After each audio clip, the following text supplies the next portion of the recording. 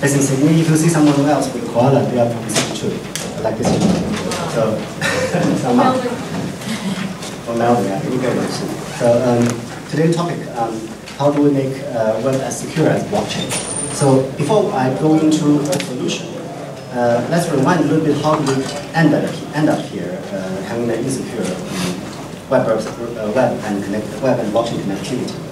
So, web Web3 pretty much started as some as we have an Ethereum blockchain, Ethereum smart contract, we need a user interface for that, so what do we technology for that?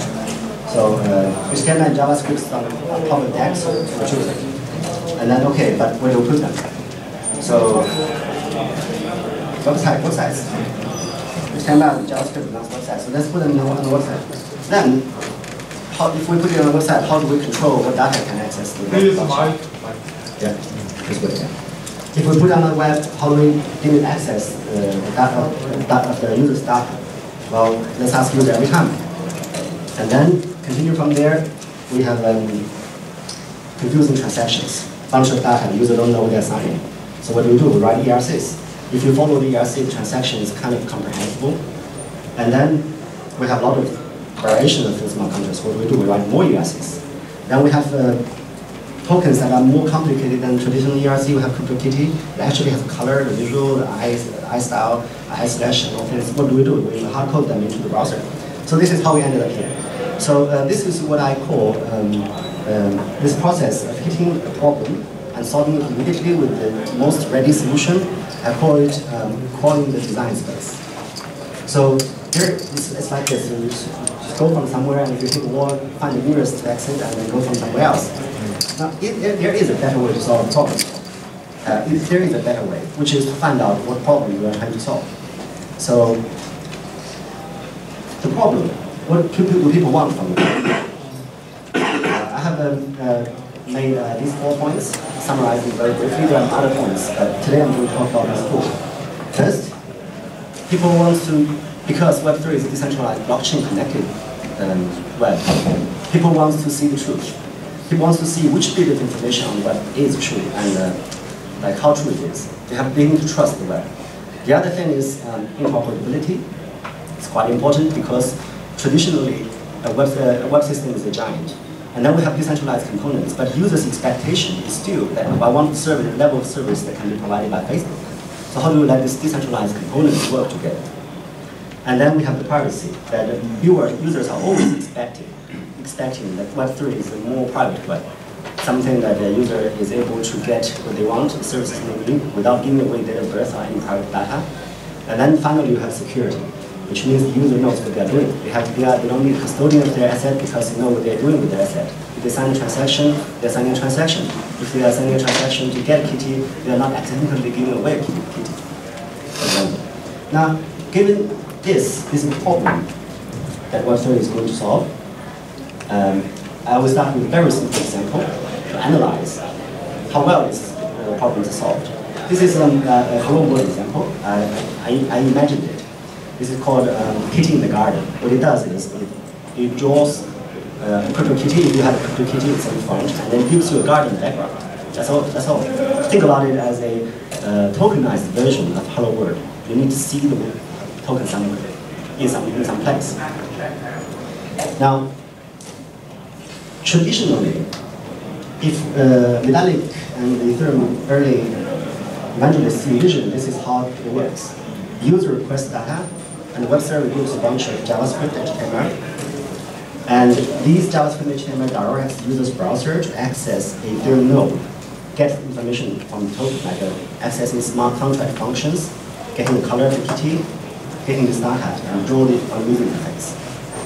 Now, Let's look at um, trust, interoperability, privacy, and security. So speaking of trust, how does the user know that the CryptoKitty is actually rendered using the data of his own kitty? Or whether or not the, uh, the web service giving them JavaScript to inquire kitty information and not the balance of the DAI contract. How do we know that? And then interoperability. So if, in this case, you can see this is new kitty, the old kitty are just sitting there. The new one sometimes have flies flying around uh, doing things. So suppose CryptoKitty adding new functions like this, new kitties, or like they, they made a function that makes kitty feel sleepy if you don't feed them. Then how do you know this moving part of decentralized components, how do you know if the website has updated their code to use these functions? That's interoperability. And then we have privacy. So apparently, in the chart, the website gets the data from the blockchain and rendered on the web. But what if there's an arrow, another arrow coming from this um, website, which feeds back data to the web server? So the, the user doesn't know how much the website, website, can learn from your token. And then we have the uh, final security uh, issue, which is if you want to sign a transaction, the transaction is assembled by the code, you don't know who wrote or whether or not you should trust. So, in fact, the trust is so broken that this model is more popular. This model, the user requests data from the web server, the web server gives user the HTML, JavaScript, which requests the user's Ethereum address. The user, the user then gives the Ethereum address to the server, and the server can go look up the kitten data themselves. There's no need for the user to have, have access to Ethereum blockchain. If the user doesn't have access to Ethereum blockchain, how does the user know any information is true? In fact, you can produce this thing with just a picture, a screenshot of a kitty sitting on the, um, uh, in front of the garden, and the user will have no way to know if this is his kitty or not. So um, the solution would be, in this very simple example, is to build an enclave. An enclave is an area, secure area, in the token space that is used on the web, but independent from the web. So visually, an enclave probably look like this. So normally it just look like kitty in front of the gardens. Yeah, I'll try to hold it on the hand. so uh, if the user moves mouse over this enclave, which shows that there's one enclave on the web, then this kitty gets highlighted. So the user knows this of information is in enclave. It's, it's sourced from blockchain truth. So with this enclave construct, the protocol would look like this. The website would request you, got, you have a kitty. This time the web does not, the website does not provide direct instructions of how to get this information. It's embed, embedded in code runs in the security enclave. And the security enclave runs clean, signed code provided by uh, CryptoKitty or trusted sources that gives you this information. Yes, we have a kitty. Privacy is protected here because you just ask for one kitty. So I probably ask you the truth which kitty, but you don't need to know. The website doesn't need to know. Now you have a kitty. And what is the color? The website may ask because I need to draw the background. And the, the kitty, uh, the, the clean signed code running in the security enclave provide information, provide inter interface, to access this information. You a gray color and you can draw, draw the background now. Then, then you can render the kitty. And this, this is how it's done with a security enclave. So let's look at this uh, parameters again. Trust. So the user runs clean code signed in the security enclave, which accesses the Ethereum node directly. It doesn't take input from the website, for example. So the user knows in the security enclave, they can ascribe truth there. So that you get trust. And then you get interoperability. If the, the CryptoKitty focus wants to give a sleepy kitty look in, in midday, then they can update their, uh, their code to run in security enclave. The website will be needed because website only care about joining the guard. That is website whole, whole, whole thing about website. It's called in the garden. And then you get privacy. Um, as I demonstrated, like you ask for kitty, I don't even give you the name of the kitty or the ID of the kitty. I just tell you, okay, I have a kitty. Security enclave has this interface to protect user privacy. And then you get security that if the, any transaction has to be signed, it is started from the web, asking certain things to be done, and that action is performed in enclave. Transaction is assembled in enclave, following the rule that was previously written. So this would uh, uh, separate um, uh, enclave from any security problem on the web. Now, if you run this technology, um, you need um, a way to deliver clean signed code to the security enclave. And that's the technology um, we have been working on. It's called TokenScript. You can imagine as a executable packaging format. What it does is it has token information like name, uh, translations names, what ERC does it conform, and then you get attributes like how to get colors, eye color out of kitty, and then uh, you get transactions like what transactions are possible with the kitty. Maybe the kitty can mate, maybe the kitty can, can sell them, or you can, I don't know. And security zoning, like uh, what kind of information is acceptable from security enclave, from which website, whether or not uh, attestations user have on their mobile phone can be forwarded to the website, security zoning. And then we have um, components. So we have cards. Cards uh, are the visual renderable part. So we can have a kitty card, which just shows kitty. And then we have um, actions. Actions is um, uh, uh, are the things that transactions users can compile for this uh, token. And understandably, this, this uh, actions might not entirely provided by Kitty. For example, if someone, someone has an idea that's collateralized Kitty and write a collateralization contract that collateralizes Kitty, then you, as a collateralizing contract author, can provide an action that is uh, applicable to Kitties. So that's the action bit. And finally, you have the signatures. The reason I put multiple signatures here is because there might need to, there might be multiple sources of trust. So just as I ex explained, the kitty is drawn with code signed by CryptoKitty, but collateralization of the kitty as an action that can be done on kitty might be signed by someone else. So this would be basically the file structure of TokenScript. So um, given we have a, a, a, brief understanding of how TokenScript will solve the hello world problem, um, I'd like to move forward to show you a real world problem and how TokenScript will be applied. That's going to be more complicated, but still based on the same thing. So um, imagine with me that uh, you have a token that represents your car ownership. You, you, you get the token when you buy the car.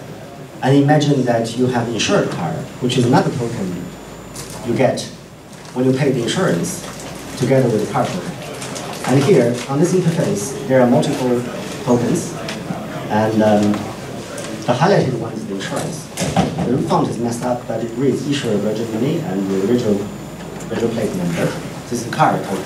It's highlighted, it's security enclave. Now, let's imagine with this new insurance token, what you can do with it. Um, imagine a business called Car Next Door. There actually is such a business based in Melbourne.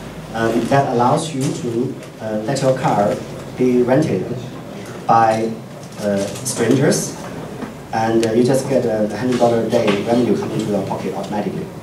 And the car is money, money for, itself, uh, for, for you. That's, that's the idea. And in order to use this service, you need to have a fully insured car. So the insurance token would be the enabler of this new uh, share economy startup. And when you use the insurance token for this new share economy, you get a rental car listing token which, which is the source of revenue that comes to you from time to time and represents that actually you have a source of revenue. If you want to, to securitize it, it's another story, but we, we, we just imagine that this is possible to have a startup called Car Next Door and we do this business. So the process will look like this. First, this is serious business. Website will say, do you actually own insurance? Now the website wants to learn something, and uh, the, enclave has the policy that, okay, actually I can give away this information. This, this is my policy, uh, attestation. And the website goes to the back of the website and asks the Ethereum node, is this policy correct? Does it cover all uh, unknown drivers, which is condition? And the smart contract says yes and yes. This is run of communication where the user behind the security enclave and uh, the website using their, their own node establish trust between each other. So you know, you know, previously in the car, kicking garden, the website doesn't even need to access the the, the blockchain. If you lied about you having token that hidden, no problem, is more serious. And to this point, we have established trust, and the website will send information, okay, send, send a transaction to get your car listed. And here, take this token script. This token script is a new one. This token script is issued by Car Next Door, the share economy company, and it contains the rules how to get a transaction, or to assemble a transaction to get your rental car listing token. So uh, what will happen now is in the security enclave, uh, the environment security enclave will check tokens, token issuer signature is good. It's issued from carnextdoor.com. And um, uh, then it will inquire Ethereum node that actually is the token issuer from contractual level endorsed this token script. And the Ethereum node will come back and say, this token script is genuine and not revoked. That's all good. And the user will get this, which is a transaction user is going to assemble. It says that what token are going to lose by the transaction, now, What token you are going to use in the transaction, car insurance token, dependency. And um, uh, what kind of token you are getting, which is car rental, rental car listing token. And it's in gray color because it doesn't exist yet. It's created on the moment of trans successful transaction. So um, this is what generated from the security enclave, not by the website. Website simply say that you need to do such a transaction, and once you are done, tell me. And hello world, here we have new token here. In the security enclave, we have the insurance token from Virgin Money, then we have the car next door token, rental car token. This is how it works. So, uh, yeah. When you say security enclave, that's on the physical device or is that software? Actually, it's a software concept. Okay, so where is that software running? It's in the user's browser. So that's, that's, that's why it's relevant because uh, building well, AlphaWallet, we're building wallet, we are able to modify our wallet to have this thing. But normally you would need a new kind of browser. Maybe that doesn't exist. Yeah. So this is a work in progress. Okay. So, all right, so you create a browser that competes with Brave. It's a new browser. It's got a security enclave running in software. How do you trust the hardware? Uh, so uh, this is a different level of topic. It would be great if the security enclave actually runs in the real security hardware security enclave, but I, I, this is um, something we can progress into. Okay, fair enough. So actually, this is how token script would solve security on the, on the web, decentralized Web 3. So um, we have ample time for question. And yeah, you can shoot questions. So anyone? So here's a question, how do you know the security enclave has not been tampered? Uh, the user, how does the user know, right? Yeah, So, It's the so same assumption as trusting that that source code to be loaded correctly. Mm-hmm. So uh, there are quite a, a few assumptions being applied here. So, for example, um, most computers, uh, computer model was uh, built based on the idea that you don't have physically own the device and you actually personally install it. What if you have the wrong version of Windows that actually leak your data to? So the assumption is the user had the capacity to secure their device. But even with the assumption that like, like this, a relaxed assumption, the old security model will still not help. So we need new security model like token script but still with the same assumption. The, the user's device is secure. Yeah, please. Is, is TokenScript open source? Okay, this is um, uh, it's on tokenscript.org. It's on GitHub. It's Apache license, and it's a, a technology that is being standardized uh, uh, by uh, Ethereum Foundation, and we're in the process of um, supply, uh, sorry, submitting it to, stan- standard track of Oasis. Oasis is the organization which previously produced open document format, you know, the open office. So it's a, it's a, it's a, it's a moving thing. I hope I get, it gets standardized really soon. I just have a question. What's the current status, or like, can we already start using it, or? Yeah, so there are tutorials on tokenscript.org. However, so TokenScript works in, uh, with a concept called context. So let's say the token would look differently if it's in your wallet or if it's on the web. Or if the token, let's say current token, would look differently if you are the borrower or if you are the lender. Different contexts will result token being rendered differently, apply different logic. So currently, it already works on AlphaWallet, the company, and AlphaWallet is open source wallet as well. But it only works with one context, which is called uh, wallet context. So to make it really on, work on the security enclave in the browser, this is something still being work in progress. It's a context-based uh, concept concept on the script. Okay, so we have one minute left. And, uh, quick question, and then we are done. So Okay. assume that the public or private key pair is anywhere specific. Does it have to be like a JSON blob or can it be a hardware wallet or like how does it interact with the keys? Or is it just MetaMask for now? Okay, so you, if you want to, you can find another layer behind TokenScript. Let's say every time the transaction is going to be signed. The signing doesn't happen in, in the enclave, but in the, in the uh, through air gap, through the air device. That's something on a different layer, different layer of protocol. Yeah. Uh, TokenScript doesn't take care of this layer. could It doesn't care about that. It doesn't care about this layer. Okay. So yeah, thank you very much.